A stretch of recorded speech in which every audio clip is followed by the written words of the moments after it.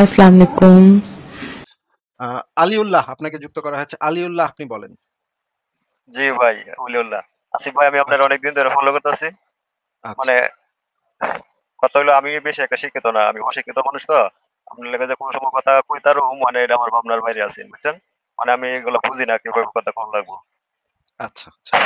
সমস্যা নেই বিশেষ করে কথা তো বলতে গেলে কি আপনারা তো আমি অনেকদিন ধরে শুনতেছি আমি একজন মুসলিম। মুসলিম মানুষ নামাজে যাইতাম, মসজিদে যাইতাম, কাজ কাম ফেলায় মানে যাইতে যাইতে এর মধ্যে আবার আপনার কথা বললাম, এর মধ্যে আবার আসাদ নূর ভাই আরও অনেকে আছে, এর মধ্যে আবার কি জানি, এই লোকটার নাম হইল যে উকিল যে একটা লোক, মুফাসেল ভাই। আপনার কথাবার্তা বললাম যে যে না মানে কথাবার্তা ভালোই। ভালো যে, ভালোর মধ্যে মানে অনেক বিষয় আছে, যেমন এই ধর্ম জিনিসটার মধ্যে যেমন যুক্তি নাই যুক্তি নাই এবার অযুক্তি বিষয়টা কেমন? অযুক্তিটা তো হইল যে ধর্মের যে মানে খারাপ দিকগুলো আছে, এগুলো মানে অযুক্তি। এর মধ্যে ভালো দিকও কিন্তু আছে, ভালো দিক আর বিষয়টা হইল হ্যাঁ কি বিষয়টা বলেন? আলিউল্লাহ ভাই, আপনার তো বিষয়টা হইল বইলা শেষ থেমে গেলেন। অলিউল্লাহ ভাই বিষয়টা হইল বইলা আপনি থেমে গেলেন। আপনার তো আর কথা শোনা যাচ্ছে না। না তাহলে আপনার বোধহয় নেট গেছে নেট চলে গেছে বা আপনার কোনো একটা সমস্যা হয়েছে। পরের জনকে যুক্ত করি। এ প্রাউড এইথিয়েস্ট আপনাকে যুক্ত করা হয়েছে বলেন আপনি। হ্যালো ভাইয়া? হ্যাঁ বলেন। কেমন আছেন আপনি? ভালো আছে কিন্তু আপনার এখান থেকে আমার কথা ইকো হচ্ছে। আপনাকে একটু মিউট করে কথা বলি। আপনার এখান থেকে ইকো হচ্ছে আপনি ইকোটা ঠিক করেন না হলে তো ভাই কথা বলা যাবে না। আপনার যদি ইকোটা ঠিক না হয় তাহলে আমি আপনার সাথে কথা বলতে পারব না। আপনার এখান থেকে ইকো হচ্ছে আমি আবার একটু না ভাই না ভাই। আপনার সাথে কথা বলা সম্ভব হচ্ছে না। আপনার এখান থেকে ইকো হচ্ছে আপনাকে আমি বের করে দিচ্ছি আপনি আবারও ট্রাই করেন ঢুকতে। আচ্ছা অলিউল্লাহ আবারও যুক্ত হয়েছেন। অলিউল্লাহ সাহেব আপনাকে যুক্ত করেছি বলেন আপনি যেটা বলছিলেন।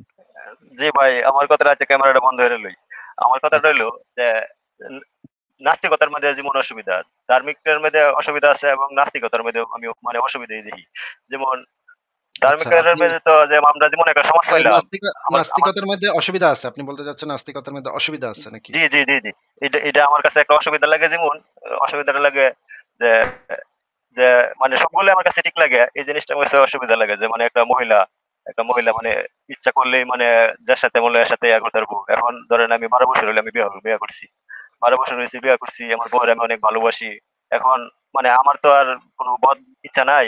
আমি সবারই মা মনে করি সবারই নিজের বোন মনে করি তাহলে কি আমার বউ কি এখন কি ইচ্ছা করলে কি কারোর সাথে সেক্স করতে পারব?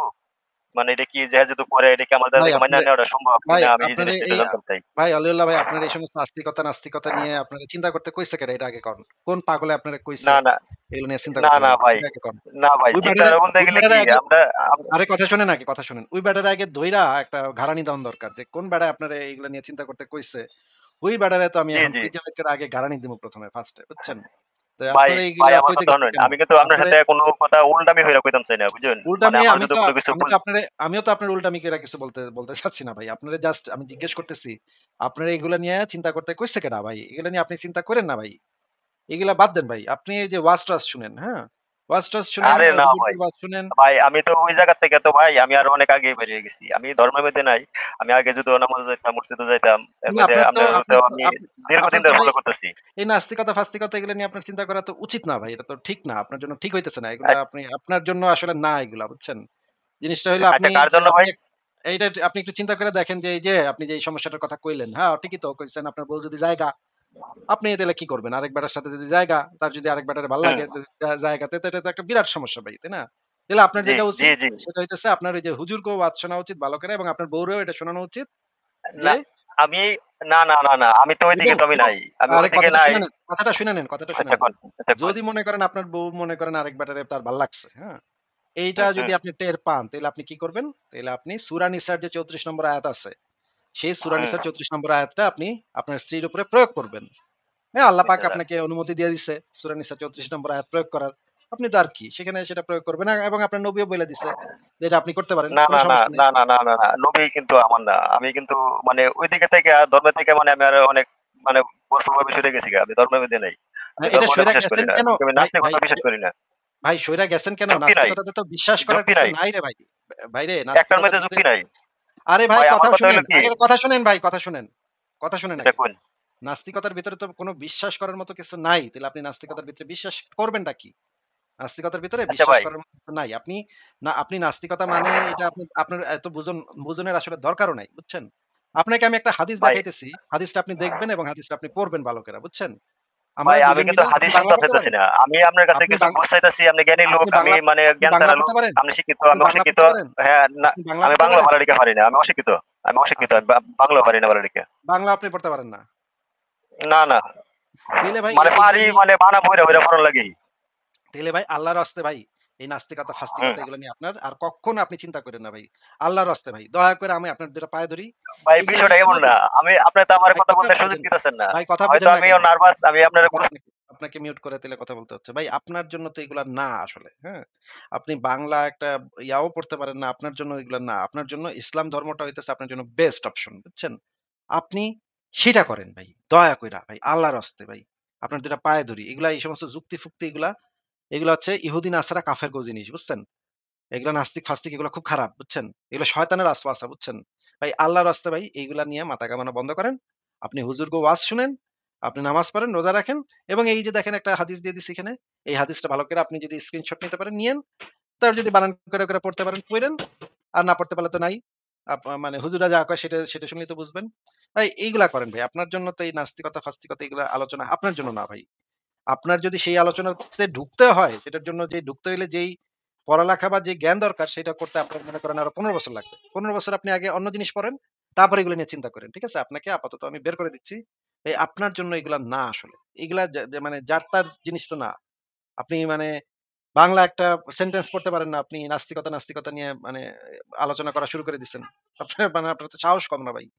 হ্যাঁ?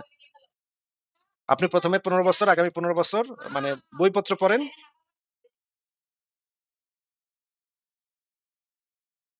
আগামী ১৫ বছর আপনি অন্যান্য জিনিস পড়েন, অন্যান্য বই পড়েন, বাংলা বই পড়া পড়তে শিখেন।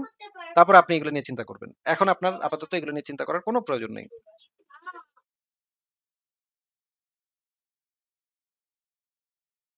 আচ্ছা পরের জনকে যুক্ত করি।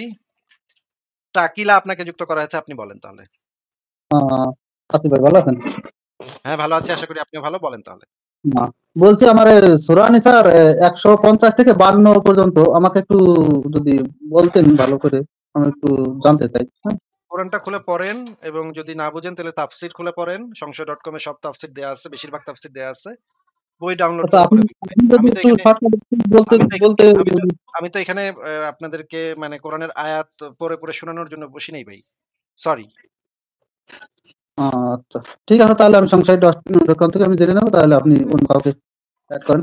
আচ্ছা, ঠিক আছে। কিন্তু বিষয়ে যদি কোনো আলোচনা থাকে সেটা করতে পারেন। কিন্তু আমি তো আপনাকে ভাই কোরআনের আয়াত পইড়া শোনাবো না ভাই। এত তো আপনি নিজে পড়ে নেন। নিজে কোরআন খুলে পড়ে নেন বা তাফসীর খুলে পড়ে নেন। কি অদ্ভুত কথাবার্তা, কি অদ্ভুত আবদার ভাই। এটা পইড়া শোনান বা এটা আমাকে বলেন। কি ভাই? এগুলো কি? আচ্ছা পরের জনকে যুক্ত করি।